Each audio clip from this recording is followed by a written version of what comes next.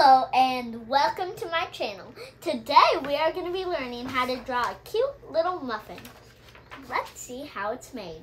So first, we're going to grab your black. It's It can be any kind of black, a Sharpie, a pen, a pencil, anything.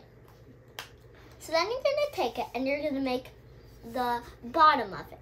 You're going to make like the wrapper.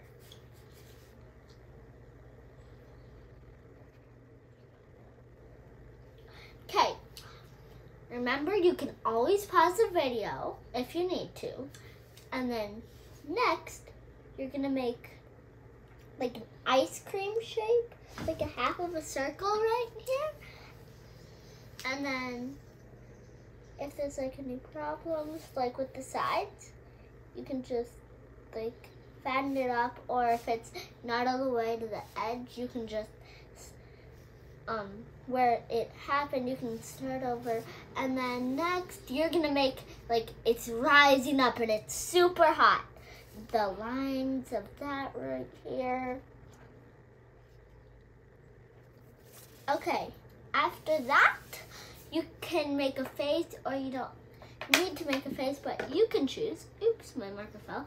Um, so next, we're gonna do the face if you want to which I'm going to make a really silly face.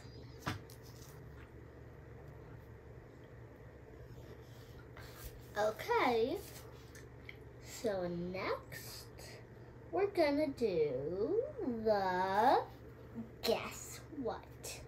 We're going to do the toppings. So let's start doing the toppings. You can do any kind of toppings you want. It can be gummy bears, sprinkles, maybe even you can add a donut on a muffin. Your choice. Oh, I forgot a good one. Chocolate. That's a good one. You can do anything you want. Let's start making some toppings.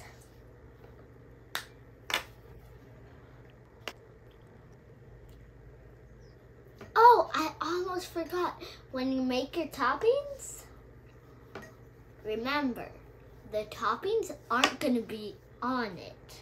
We're going to make the toppings for the background. Let's get back to work.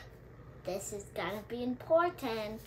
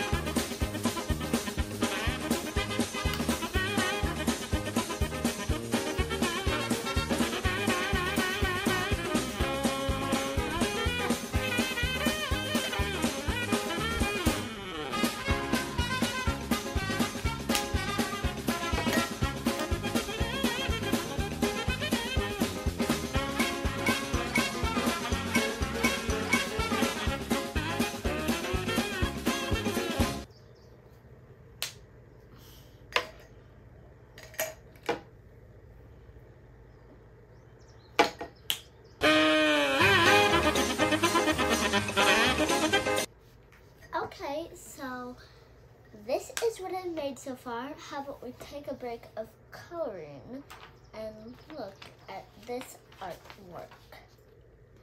So you can make any toppings and so you see what I made. I made a little strawberry and two blueberries. The blueberries and berries are yummy with muffins. And so I added those. I was just starting to make some sprinkles. And I made a little piece of candy over here. And look, he's nice, but he's goofing around on television. Like that. And, and it looks like he's super duper hot with those steam lines. Now, how is your coloring going? I'm guessing it's going awesome, because you're making an awesome picture. Now, how about we get back to coloring and see what beauty you can make. Bye! Okay, so we're gonna be drawing some rainbow sprinkles and let's see how rainbow we can get them.